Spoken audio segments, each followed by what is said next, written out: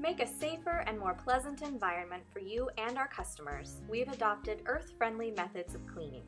You will be using chemicals that are the mildest possible, microfiber tools, vacuums with HEPA filters, and processes that stay in line with our green cleaning policy.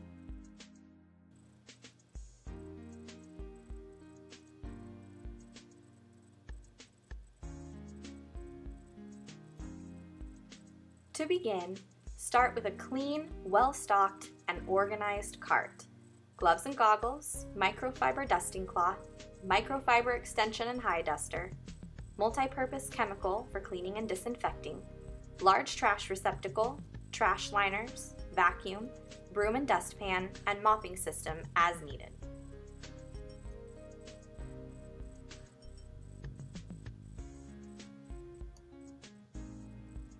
Always inspect your equipment to be sure it is safe to use by checking the cord for cuts and frays and look to see if the prongs on the plug are not damaged before turning it on.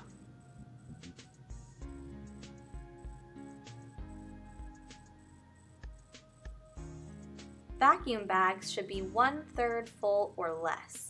If not, replace it with a new one.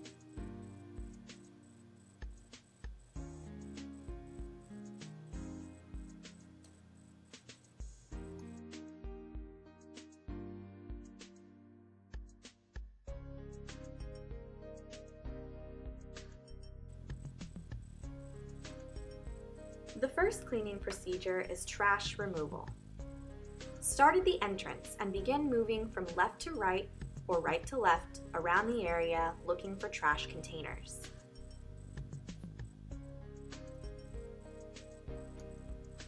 If you find anything unusual in the container as you empty it and you think it may have accidentally landed in the trash, such as a stapler, carefully place it on the nearest desk. Empty trash containers into the large receptacle on the cart. Inspect the liner. If the liner is torn, dirty, wet, or had food in it, replace the liner with a new one. When applying a liner, remember to tie it snugly around the rim of the container so it will not slip down inside and tuck the knot under so it looks neat.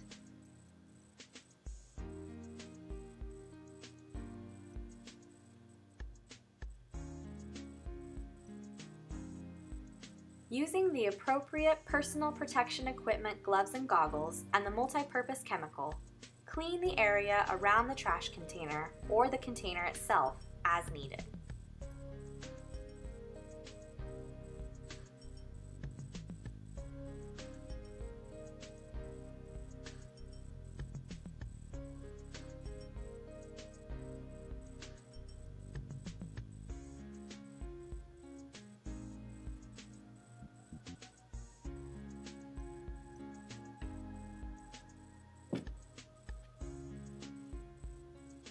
Always put the trash container back in the same place.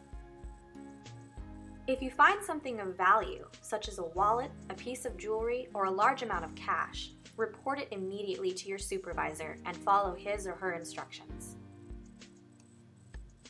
Do not take anything found in the trash. Remember, we never leave the building with anything that we didn't bring ourselves. Keeping safety in mind, never put your hands in the trash or try to compact the trash with your hands or feet. Use a broom handle, dustpan, or the bottom of a small trash container. Use proper body mechanics by squatting or kneeling, keeping your back straight, and lift with your legs. If the trash is too heavy, ask for help. Recycling procedures are site-specific, but all sites recycle to some degree, Make sure to find out what days, times, and where the recycling is deposited at your site. Remember, if you find trash in a recycling container, we don't separate it. It now becomes regular trash. The second cleaning procedure is damp dusting. Using a clean, slightly damp microfiber dusting cloth, dampened with the multi-purpose cleaner or water, dust all horizontal ledges that are 70 inches and below. The reason for using a damp method is so we trap the dust and debris on the cloth and remove it from the area, which is one of our green cleaning processes. Some of the areas to be dusted are desks, filing cabinets, tops of cubicle partitions, doorknobs, switch plates, window sills, chair and table legs, and baseboards. Areas over 70 inches are usually done according to a site periodic schedule.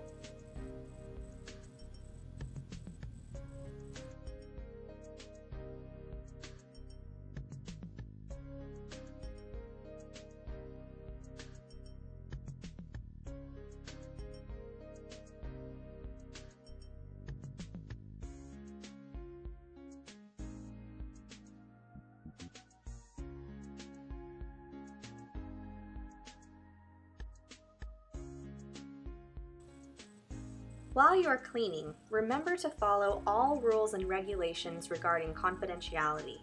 Anything you see, hear, or someone tells you should not be repeated.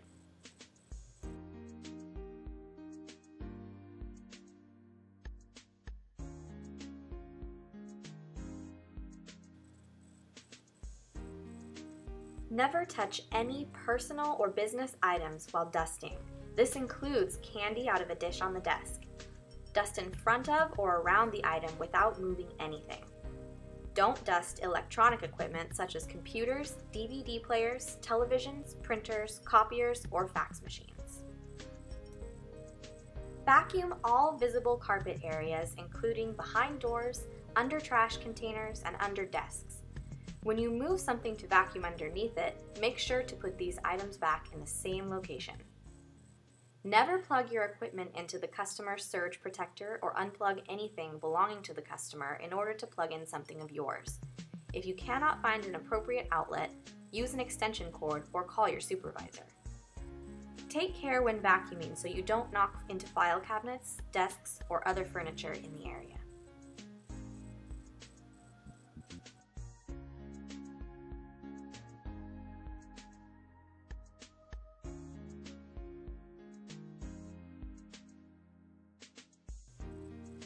Make sure you vacuum behind the door first. This way you don't forget.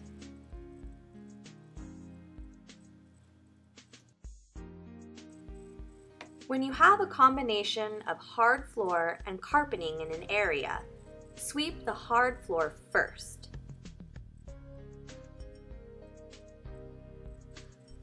Then, vacuum the carpet.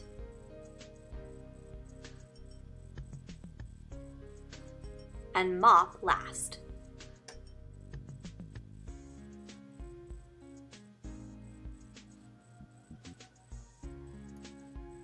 Any door you have to unlock must be put back into locked position before you enter, even while you're in the area cleaning.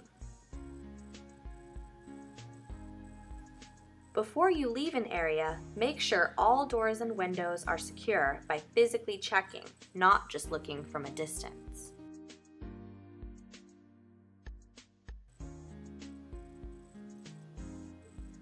Always inspect the areas you've cleaned to be sure all tasks have been completed. And use energy conservation by turning off lights when you leave an area unless they are to be left on for security reasons. Never let anyone into secure areas except your supervisor.